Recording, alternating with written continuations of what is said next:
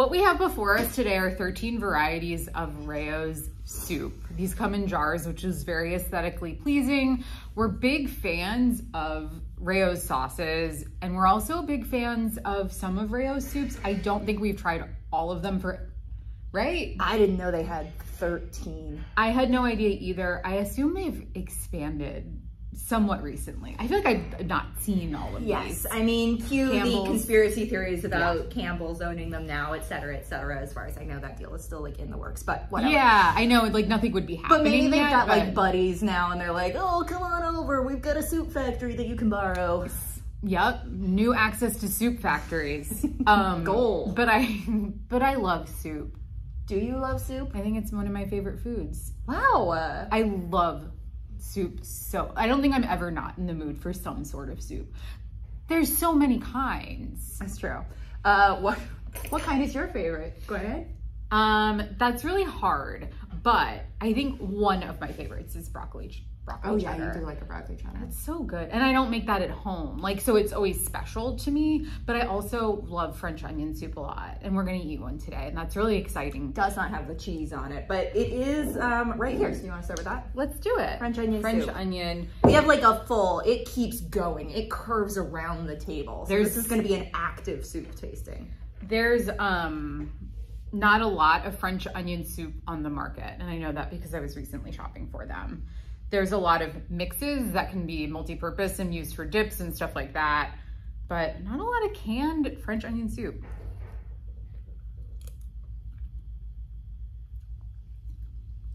It's pretty good. It's pretty good. It does end with a bit of that jarred flavor hmm that could probably be fixed with like a healthy dose of melted cheese on top and some toast or whatever. Like you'd be like, this is fine and good, but it just there's like a kind of tinniness on the finish that doesn't that like cuts off the nice roundness of the caramelized onions. I do think that it would help so much to have cheese on this. I think it would like put a piece of bread in this, put some, I don't even know what bread at home you would use. Would you use like a I mean, need, hamburger like, a bun? Mm, no, come on. I mean, you could. What would you put? I mean, little baguette slices, just like two of them, Okay. and then melt some cheese on it, or a hamburger I bun. thinking round. A nice hamburger No, I do like the idea of that fitting directly Round. over a bowl. I think Yeah. that's really, really cute. But I will say, I just spit. Not in the soup. I spit on myself. But um, I've had Progresso French onion soup in the past. I might change my mind when I retaste it, but I don't remember it being very good. And I like got it to make French onion soup at Right. home, and it was just like, What a wasn't very good. This, This tastes like it has. Yeah. What is like sherry or something in it that Yeah. gives it like a little bit of A little bit sweetness or sorry, I'm just gonna keep eating it. My main thing with French onion soup is I do, do think, and this is not, uh, this is, I, it needs to be so hot. Like you need to have to wait to eat French onion soup for like a full half hour. Like I- everybody else is done with their appetizers and you're still like, eh. I resent it so much when it's too hot So to eat because you want to eat it so badly. You can't. It's gonna absolutely burn your mouth off. There is something about that soup that gets hotter than any others. Lentil. just lentil. I love lentil soup. I do too. This is another soup that I make at home. It's a nice one. It's so cozy. It feels very like something a medieval person, sorry, I touched your boob. I a like medieval person would eat. Mm-hmm. Like what you get at medieval times. Mm, You, you do 100%. literally get a lentil soup. This literally reminds me of the lentil soup in medieval Oh, times. 100%. Yeah, it's got that like dried herb kind of thing going on. I smelled it and was right away like, there's herbs in this that I'm not a huge fan No, of, to and be honest. there's too many and they really finish out on the end. Yeah. Yeah. It kind of, and the herbs turn into a little bit of like an herby slop in there. There's also not a lot of lentils. No, it's mostly Like, carrot. It's mostly like mm. chunky carrot soup. Tastes a little dirty. I'm favorite. Like they didn't rinse the lentils. But yeah, it, it's one of those soups that like again like it, you get it like a cafeteria or something and you'd be like it's soup and now it's in my stomach but Yeah. like am I gonna buy it? No. I know when they give you soup at medieval times, you're usually just so hungry at that point because you've just been like standing in a common area waiting Yeah. for them to open the doors and you're just like, oh, this is so good. You're starting to drink your your medieval margarita that's the Yeah. size of your head. I know, man. I do too, except for the sad horse stuff. Ugh, it impacts my enjoyment a lot. sucks. I know. I, I was like, ugh. I just like ride a hobby horse around instead. Something like that. This is tomato basil. Basil in jars is a dangerous thing. I know we are not huge fans of the Rao's like tomato basil sauce. And it seems like you are not. no. No. I don't like it at all. What happened? Again, it's like that weird. It tastes like somebody. It tastes What is that? It really is. It is very, it doesn't taste like basil. It tastes like dried Dried. herbs drawer. Does it say? I don't, it just says spices on it, which is like, sure, whatever. Water, carrot, celery, Spices, spices, basil. It looks like It should be. It should be better. I, it feels like something. If if these are all the ingredients, something happened. I was expecting Rao's to do a really good job. So there is another tomato tomato. There's a there's a creamy do tomato that. that. we have down right there. Yeah. Yeah, this is the This creamy tomato. good. I It does look much better. Don't put the, the basil ruined it. There's a place in Yountville that does a creamy tomato bisque, and it's like, and I think they serve it under like a puff pastry, like a cheddar Oh puff pastry top. Oh my god. So good. I love this. Great. Good. Humongous difference. Don't don't bother with the herbs if you're gonna use dried So herbs. much better. This is so and it really is creamy. It's So so, creamy. creamy and cheesy tasting. yum. It has a nice texture. I like that it's chunky Mhm. because it sets it apart from sauce. hmm It's like actual meal rather than just jar of sauce. This is what this is like my favorite so far. Absolutely forgot. It has, has some balsamic vinegar in it, which I think is interesting and adds like maybe just a little bit more tang to Yeah. like amp Brighten up, it the, up. brighten up the yeah the natural flavor of the Wow. tomatoes. It's really good. I love that. We're gonna have to revisit our best Mm. tomato soup ranking. hmm That's quite good. If you put some like really buttery, garlicky like croutons in that or something, it would be so good. Yum. I'm Love that. put that. I'm gonna put the good ones up here. Yeah, that's a good one. Um, this is a medium one.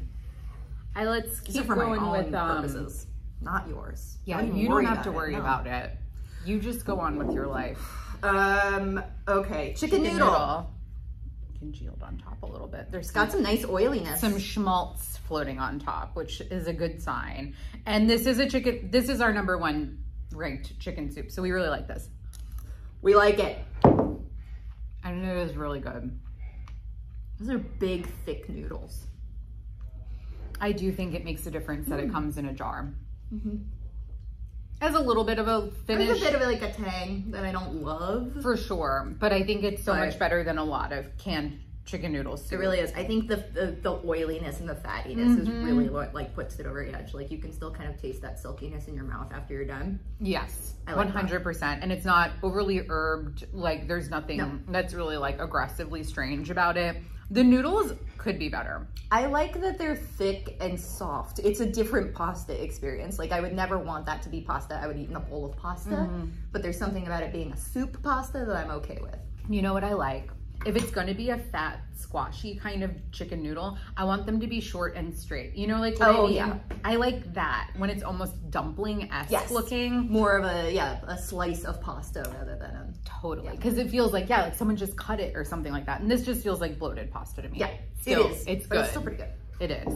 That's good soup. That's good soup. That's good soup. Okay, Rao's vegetable minestrone.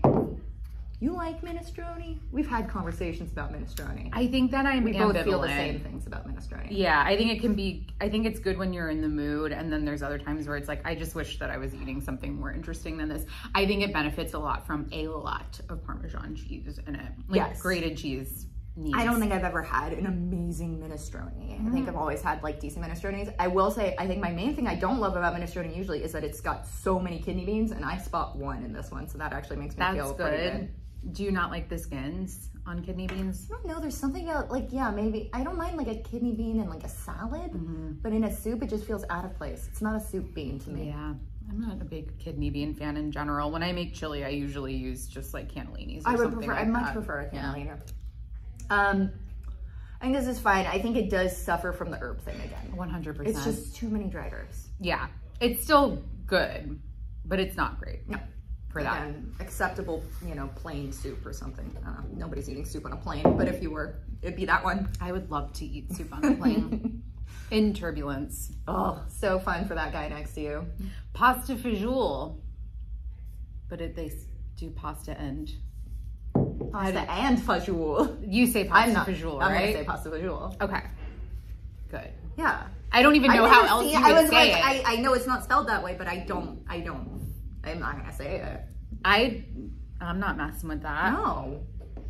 I've only heard it referred to as pasta visual. What is is fazool bean? Mm. Yes, it is. I love this style of pasta. The little round uh, tires. Is that what it is? Yeah. Um, okay.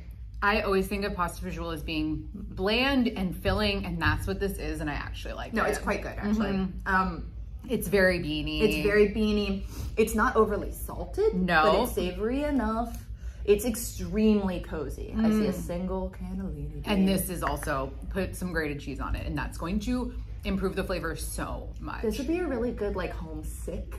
Like mm. like forget the chicken noodle. It's chicken noodle. It's good, but like this is so like it's like that yeah that bland in that good cozy way. Mm-hmm. Sometimes you just want a nice cozy bland thing in your tummy. That's I love it. feel good. I really like that the broth has picked up some of the thickness of the beans in mm. it. It the, so the whole thing has It's body. really cozy. I love it. It's very homemade tasting. It really is. My friend's mom used to make pasta mm. visual. And they were from like Ohio or something. My it friend's was mom used to make something that good. she called bean stew. It had nothing. I don't even know if it. It must have had beans in it. It was canned, but maybe she added something to it. I cannot figure it out. I crave it all the time. It was Mm. just like a savory, mushy thing that I loved, and I don't know what it was. Check it out. Okay, what are we eating now? This Ugh, is scared of it. potato and sausage. Okay. This is a soup we also like. in our potato soup ranking. Yes, this made our potato soup ranking. It's got bean too. It has bean and it has greens of some sort in it. It's very salty. Mm. Very. It's got that like sausage broth kind of thing going on. That's pretty good. I really like it. I think this is also a little bit bland, but in a way that I appreciate. I think it's um also different.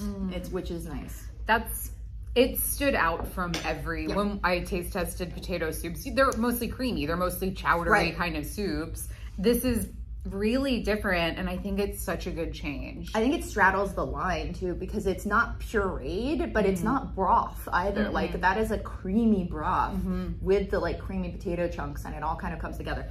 I appreciate that the sausage is in like little bits too. like I don't want a big a big chunk of sausage to chew on here. And you can taste it, but it's not too fennelly. And also, the potato pieces are a very nice size. They're not gargantuan, which I think I would have hated because they would have been mealy. And these are very silky. And they're not great. Yeah, they're not grainy at all. Like No. some, like the you usually get in like a minestrone or something. I like that I too. think that's very good. I like that a lot. Ooh. Okay.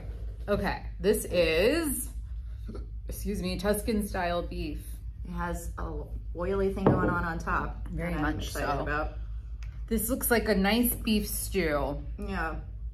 Really, there. That's another thing that there are weirdly like not that many of on the market. When we were shopping I, for I beef swear I remember getting canned beef stew so much as a kid. Like, I just all didn't do more. yeah, Oh, this has a weird herb thing going on, sadly. mm, the beef doesn't look incredible. No, it's dry. No, so much weird, What? weird herbs. It's that same. Mhm. I Dirt. hate that flavor. dirt herb. It stays in your mouth. It really sucks. I don't like that. Ugh, And that dry beef, you just kind of like. it's not good. No, I know it's all stuck in my teeth now. Yeah, mine too. Oh, do you remember if you tried this butternut squash soup when you did that I taste did. test? I don't think I did. I don't know I'm- if they made it back then. I'm hoping I'm it's excited. good. Me too.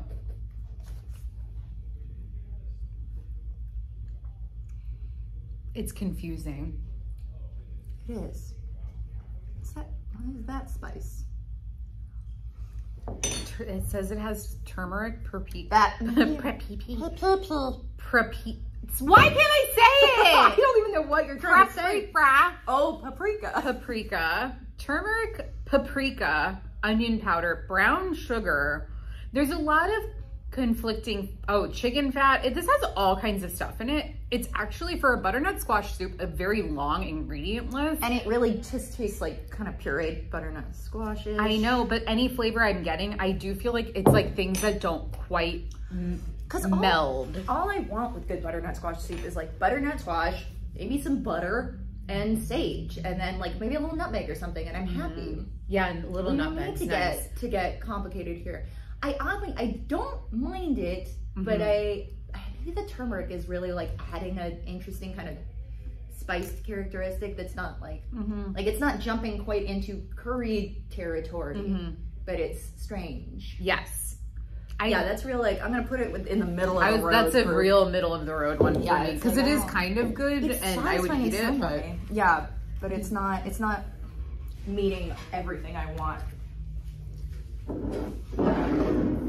My arms weren't long enough to reach all the rest of them. So Justine's doing a solid. Put my long arms on. Long arm of the law. I got my, I got my long arms on today.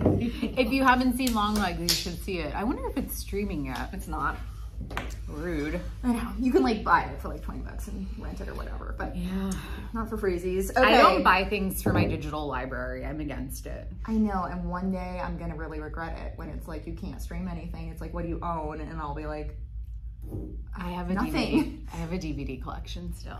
We buy DVDs still. I have some. Because there are things that you can't find on streaming, No, and if you really like it, you should buy physical media. I We have- don't know what's gonna happen. I, I, if, if the world goes to shit, but we still have electricity, I will be able to watch season one and season two of Northern Exposure over and well, over that's again. fun. Um, a couple of seasons of Aqua Teen Mm. from, from Mike's collection.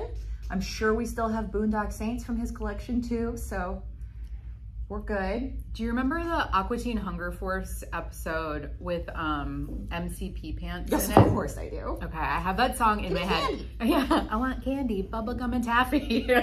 Um, I make a reference, I think, in any jello or jelly article I ever write. I'm pretty sure the like social caption is commence to jiggling. yes, And I'm like, one person's gonna get it, but I can't not write it. it was so iconic. Um, okay, tortellini and vegetable. That sounds good to me.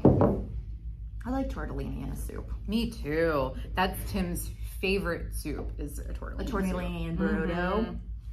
Loves. As a soft tortellini. Mm. I don't. No. I think that is just so bland. I don't like that at all.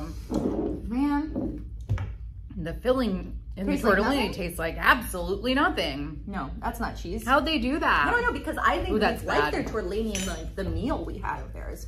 I really, I hate that soup. Okay, it's aggressive. I know. That's how I feel though. Chicken and gnocchi. Gnocchi, is what my mom says. Chicken and gnocchi. Gnocchi. Trying not to let any uh, temperature. Are they all made in Canada or just this one? No. Yeah, I did notice. Some of them are made in Canada. Some of them are made in, Jersey. Oh, it's a soft gnocchi. No, Mm. herby thing. Mm-mm, mm-mm. Nope, nope, nope. Oh, why? Stop. Are the Canadian ones the weirdly Oh, spiced ones? Blame our neighbors to the north. Uh-oh. they don't know what a fresh herb tastes like. Yeah, man. Whatever that, whatever that herb flavor is, it is so. Beef is Italian, or it is such a bummer. Huge, huge bummer. Ugh, We have we're down to our last one. We went through 13 soups pretty really quickly. fast. So the last one is Italian wedding. I'm not sure if we've had this. I spent my entire life hating Italian wedding soup because I think that the meatballs small are meatballs weird, are scary. off-putting. Um, late in life, I became a fan. became a Chickarina fan. It's pretty close. I don't know what the difference between Chickarina and Italian wedding is actually. What I do like is um, the little Israeli couscous, the the tiny, the pearl, tiny round pastas. Well, try them in this. Oh, I mean, they're like Mush. moosh. Just slides down your throat. Total mush. I don't mind the flavor too much. No. Tiny hint of that herby thing. Mm-hmm. But it's not. It's not I'm gonna try yet. the tiny meatball. Small meatball. So soft. Mm, So Absolutely. no flavor. it's just no flavor at all. Mm-mm. Oh. No, insane. Honestly, Progresso Chickarina is better than this, and that should not be the case. Okay. Well, looks like this ranking is actually going to be pretty short. Okay, what's your favorite? Okay. Um, the creamy tomato. That's definitely my favorite too. Yeah, I think I would. I, I'm actually gonna probably buy that. Like, I think it's really good, and I think you can doctor it up if you want Yes, to. And you that, could do a lot with I mean, that that. with obviously a grilled cheese would be incredible. and the pasta visual, I would 100% buy Pasta visual for sure. Yeah, I think because it again is- that homemade Yep. cozy cozy If you or flavors. anytime you're not feeling well, you're gonna be so happy that you have that jar in your pantry. And in your pants. In your pants. Whoa! Wow. Like us, comment on us, sub- subscribe to us, buy all of our merch. Tell us what soups you love. Oh yeah, tell us your favorite soups. We're genuinely interested. tell us what we should try next. Don't tell us to try all of the condensed Campbell's soups because there's 83 of them It's insane. and we just don't have it in us. no, But- don't make us do that. I can't have cream of bacon in my life. We should do a live taste test of something like that. Oh yeah, though. and it's just a And it's full like- day. Yes. Tune in whenever you feel like it as we try 85 Campbell soups. And then everybody goes and gets like an IV of hydration because of the am- huge amount of sodium we've had. I cannot even imagine what that would do to your bod. Well, we're gonna find out. Tune in. Bye. Bye.